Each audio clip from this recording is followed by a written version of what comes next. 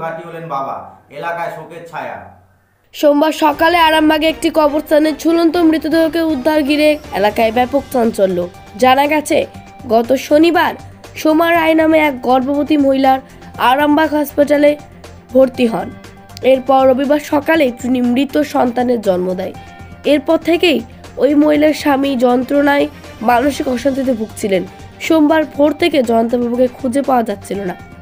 অনেক খোঁজাখুঁজির পর আরামবাগ হসপিটালের নিকটবর্তী এক কবরস্থানে তার ঝুলন্ত আচ্ছা মৃতদেহ একটু তাহলে দেখবে তুমি। আমি এসেছি স্যারের আন্ডারে ভর্তি হয়েছে। আমি সমন্দিকে ফোন করলাম ফোন করার পর বলল এর নাকি বাচ্চা নষ্ট হয়ে গেছে। বাড়ির লোককে খবর দিলাম বাড়ির লোক কবে কবে বাচ্চা নষ্ট হয়ে গেছে? বাচ্চাটা পরশু দিনে ভর্তি হয়েছে। এই জায়গাটার কি নাম? এই জায়গাটার নাম হচ্ছে আরামবাগ হসপিটাল মোড় বড় কবর।